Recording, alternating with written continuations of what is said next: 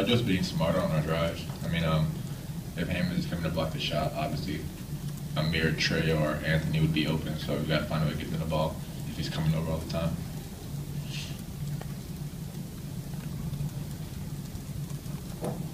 Amir, I, um, the last game at Purdue, um, they tried to spread you guys out and the, the screen defense was a problem over there, and I know it was also a problem last week at Michigan. What, um, when you guys are having trouble with your ball screen defense, what it is, what is it, and what do you have to do better?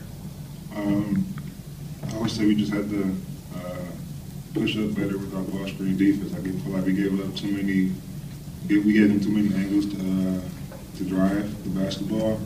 We're a team that we don't allow the teams angles off uh, uh, dribble penetration. I feel like on those ball screens we took advantage of that. And it's just something that's us, uh, as us bigs have to do and communicate with the guards when the screen is coming as well.